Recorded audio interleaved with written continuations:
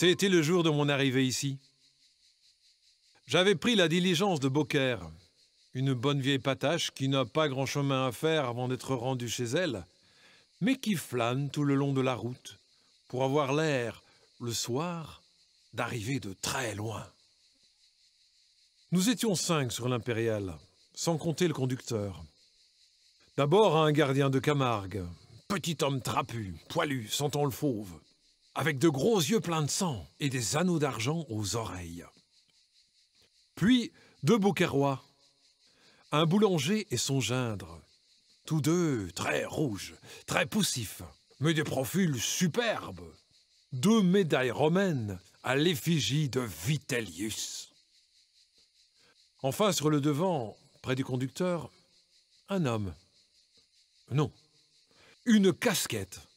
Une énorme casquette en peau de lapin. Qui ne disait pas grand-chose et regardait la route d'un air triste. Tous ces gens-là se connaissaient entre eux et parlaient tout haut de leurs affaires, très librement. Le camarguais racontait qu'il venait de Nîmes, mandé par le juge d'instruction pour un coup de fourche donné à un berger. On a le son vif en Camargue. Et à Beaucaire, donc Est-ce que nos deux Beaucairois ne voulaient pas s'égorger à propos de la Sainte Vierge? Il paraît que le boulanger était d'une paroisse depuis longtemps vouée à la Madone, celle que les Provençaux appellent la Bonne Mère, et qui porte le petit Jésus dans ses bras. Le gindre, au contraire, chantait au lutrin d'une église toute neuve, qui s'était consacrée à l'Immaculée Conception. Cette belle image souriante, qu'on représente les bras pendants, les mains pleines de rayons. La querelle venait de là. Il fallait voir comme ces deux bons catholiques se traitaient, eux et leur madone. Elle est jolie, ton immaculée Va-t'en donc avec ta bonne mère Elle en a vu de grise, la tienne, en Palestine Et la tienne Ouh, la laide Qui sait ce qu'elle a pas fait? Demande plutôt à Saint-Joseph. Pour se croire sur le port de Naples, il ne manquait plus que de voir luire les couteaux. Et ma foi, je crois bien que ce beau tournoi théologique se serait terminé par là si le conducteur n'était pas intervenu. Laissez-nous tranquilles avec vos madones, dit-il, riant au Beaucairois. Tout ça, c'est des histoires de femmes. Les hommes ne doivent pas s'en mêler. Là-dessus, il fit claquer son fouet d'un petit air sceptique qui rangea tout le monde de son avis. La discussion était finie. Mais le boulanger mis en train avait besoin de dépenser le restant de sa verve. Et se tournant vers la malheureuse casquette, silencieuse et triste dans son coin, il lui dit d'un air goguenard Et ta femme, toi, Rémouleur pour quelle paroisse se tiennent-elles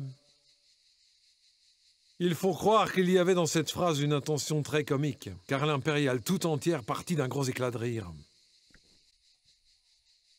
Le rémouleur ne riait pas, lui. Il n'avait pas l'air d'entendre. Voyant cela, le boulanger se tourna de mon côté. Vous ne la connaissez pas, sa femme, monsieur. Une drôle de paroissienne, allez. Il n'y en a pas de comme elle dans Beaucaire. Les rires redoublèrent. Le rémouleur ne bougea pas. Il se contenta de dire, tout bas, sans lever la tête. Tais-toi, boulanger. Mais ce diable de boulanger n'avait pas envie de se taire. Et il reprit de plus belle. Vieux d'Az, le camarade n'est pas à plaindre d'avoir une femme comme celle-là. Pas moyen de s'ennuyer un moment avec elle. Pensez donc. Une belle qui se fait enlever tous les six mois. Elle a toujours quelque chose à vous raconter quand elle revient. C'est égal. C'est un drôle de petit ménage. Figurez-vous, monsieur, qu'il n'était pas marié depuis un an. Paf Voilà la femme qui part en Espagne avec un marchand de chocolat. Le mari reste seul chez lui à pleurer et à boire. Il était comme fou.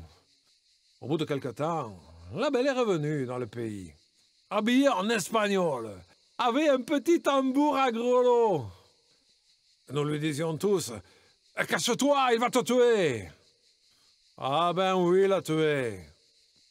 Ils se sont remis ensemble bien tranquillement et lui a appris à jouer du tambour de basque. Il y eut une nouvelle explosion de rire. Dans son coin, sans lever la tête, le rémouleur murmura encore. Tais-toi, boulanger. Le boulanger n'y prit pas garde et continua. Vous croyez peut-être, monsieur, qu'après son retour d'Espagne, la belle s'est tenue tranquille?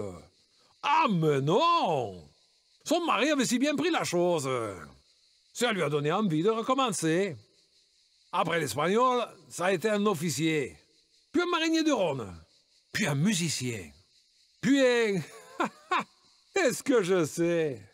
Ce qu'il y a de bon, c'est que chaque fois, c'est la même comédie. La femme part, le mari pleure, elle revient, il se console. Et toujours on la lui enlève, et toujours il la reprend. Croyez-vous qu'il a de la patience, ce mari-là? Il faut dire aussi qu'elle est grandement jolie, la petite rémouleuse. Un vrai morceau de cardinal. Vive, mignonne, bien roulée. Avec ça, une peau blanche et des yeux couleur de noisette qui regardent toujours les hommes en riant. Ma foi, mon bon Parisien, si vous repassez jamais par Beaucaire... Tais-toi, boulanger, je t'en prie fit encore une fois le pauvre rémouleur, avec une expression de voix déchirante. À ce moment, la diligence s'arrêta. Nous étions au Mât des Anglores. C'est là que les deux Beaucairois descendaient, et je vous jure que je ne les retins pas. Farceur de boulanger. Il était dans la cour du mât qu'on l'entendait rire encore. Ces gens-là partis, l'impérial sembla vide. On avait laissé le Camarguais à Arles. Le conducteur marchait sur la route, à côté de ses chevaux. Nous étions seuls là-haut, le rémouleur et moi, chacun dans notre coin, sans parler. Il faisait chaud. Le cuir de la capote brûlait. Par moments, je sentais mes yeux se fermer et ma tête devenir lourde. Mais impossible de dormir. J'avais toujours dans les oreilles ce Tais-toi, je t'en prie, si navrant et si doux. Ni lui non plus, le pauvre homme. Il ne dormait pas. De derrière, je voyais ses grosses épaules frissonner et sa main, une longue main blafarde et bête, trembler sur le dos de la banquette, comme une main de vieux. Il pleurait. Vous voilà chez vous, Parisien me cria tout à coup le conducteur. Et du bout de son fouet, il me montrait ma colline verte, avec le moulin piqué dessus, comme un gros papillon. Je m'empressai de descendre. En passant près du rémouleur, j'essayais de regarder sous sa casquette. J'aurais voulu le voir avant de partir. Comme s'il avait compris ma pensée, le malheureux leva brusquement la tête et, plantant son regard dans le mien, Regardez-moi bien, l'ami, dit-il d'une voix sourde. C'est un de ces jours. Vous apprenez qu'il y a eu un malheur à Beaucaire. Vous pourrez dire que vous connaissez celui qui a fait le coup. C'était une figure éteinte et triste, avec de petits yeux fanés. Il y avait des larmes dans ses yeux, mais dans cette voix, il y avait de la haine. La haine, c'est la colère des faibles. Si j'étais la rémouleuse, je me méfierais.